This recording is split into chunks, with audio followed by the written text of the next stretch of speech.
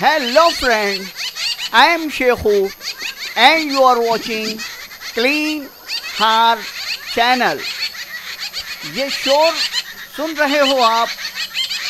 ये है जंगल बाबल।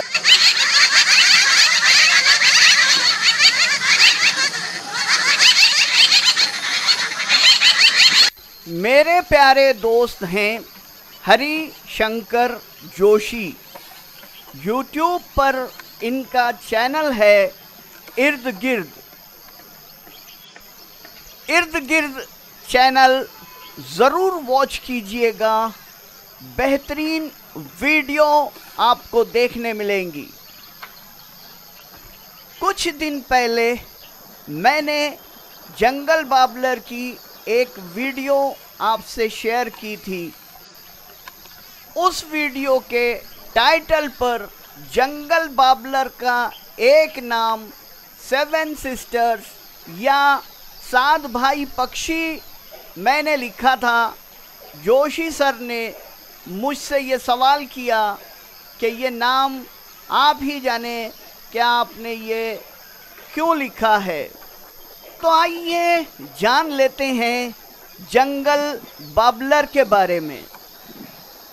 जैसा कि आपने देखा होगा, जंगल बाबलर हमेशा ग्रुप्स में रहते हैं और बहुत ज़्यादा शोर मचाते हैं।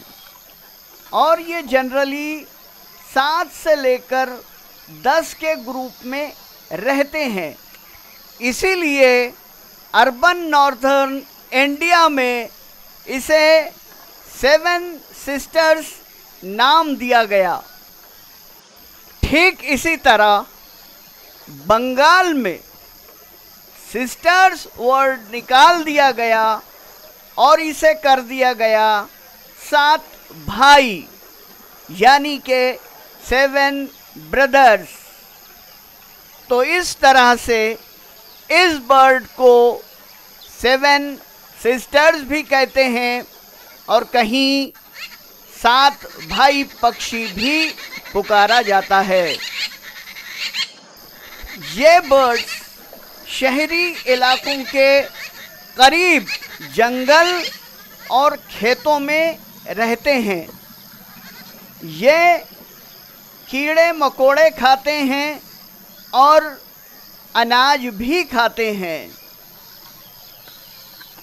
जंगल बाबलर के बारे में कहा जाता है कि ये साल भर प्रजनन करते हैं।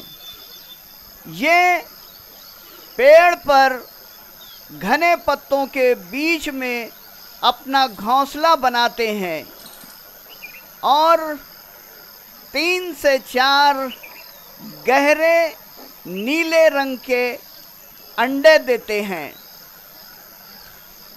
जनरली हम देखते हैं कि बर्ड्स बहुत शाय होते हैं और जैसे ही हम बर्ड्स के करीब जाते हैं तो ये उड़ जाते हैं। लेकिन जंगल बाबलर बिल्कुल शाय बर्ड नहीं है। इनके हम बिल्कुल करीब भी चले जाए तो ये डरते नहीं और जल्दी उड़ते नहीं हैं। और आखिर में एक मज़ेदार किस्सा सुनाते हैं। बचपन में जब बच्चे रोते या सताते थे, तब मेरी नानी कहा करती थी, खामोश हो जाओ, सो जाओ, नहीं तो कोल भालू पकड़कर ले जाएगी। तब नहीं पता था कि ये शोर मचाने वाली जंगल बाबलर इसी को कोल भालू कहते हैं।